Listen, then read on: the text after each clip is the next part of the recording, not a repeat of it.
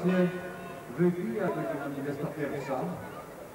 I to jest y, ten moment, y, w którym rozpoczynamy tą pierwszą część tych trzech dniu dzisiejszym.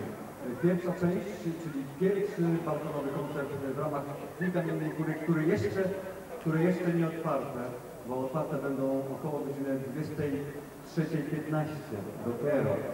Ale żeby wczuć się w klimat tego, co w tym roku, stulecie budowy ratusza, za moment na balkonie po raz pierwszy, chyba w historii tego ratusza, bo nie wiemy, czy przed wojną na tym balkonie były koncerty.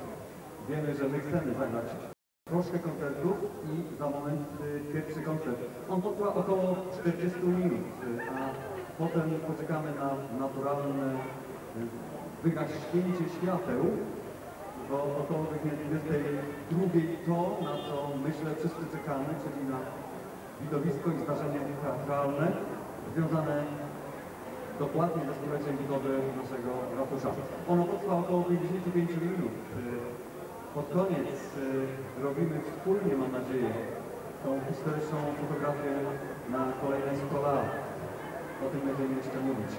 A trzeci moment to uroczyste otwarcie tej kamiennej góry. Czyli tak, y, zanim wrócimy wszystkie tajemnice dzisiejszego wieczoru, zapraszam Państwa na koncert. Pierwszy z serii koncertów balkonowych. Jako pierwszy dzisiaj zagrał Kamienno-Górzanin, którego Państwo znacie doskonale. Pan Edward y, Muszczyński, koncert akordeonowy.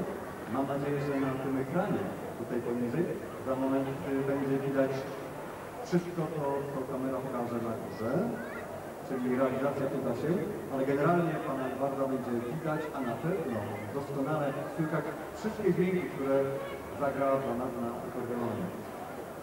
Czyli zapraszam Państwa na koncert. Około 40 minut, a około godziny 22 rozpoczniemy nasze widowisko. Przed Państwem Pan Edward Muszczyński. Mam nadzieję, że jakieś oklaski pojawią się. Dziękuję bardzo.